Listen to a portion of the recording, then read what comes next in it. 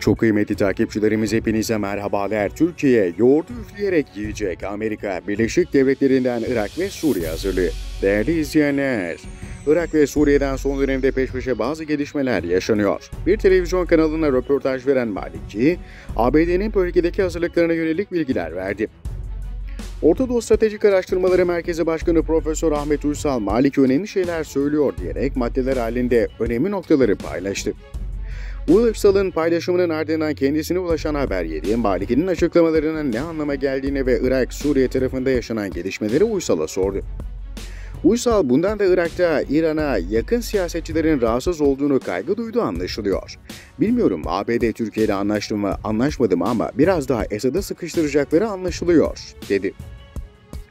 Uysal, Esad'ı Amerika korudu yine de koruyacaktır ama işte PYD ile vesaire konuşması, anlaşması konusunda veya Amerika'nın ve İsrail'in istediği bazı konularda baskıyı artırmak için böyle yaptıklarını düşünüyorum şeklinde konuştu. Uysal askeri olarak Amerika, İran-Irak sınırını kapatmayı planlıyor anlaşıldığı kadarıyla. Bölgede bir hareketlilik var epeydir. Tam ne zaman kapatacağı ve de karşılığında nasıl bir direnç olacak tam belli değil. Hem Esad tarafından hem İran yanlıları tarafından nasıl tepki geleceğini kestirmek çok da kolay değil dedi. Konuya ilişkin dış politika uzmanı gazeteci yazar Mehmet Beyhan ise, Soğuk Savaş dönemi sona erdikten sonra stratejik çıkar çatışmalarının söz konusu olduğu bölgelerde küresel güçler arasında çekişme yaşanmaktadır.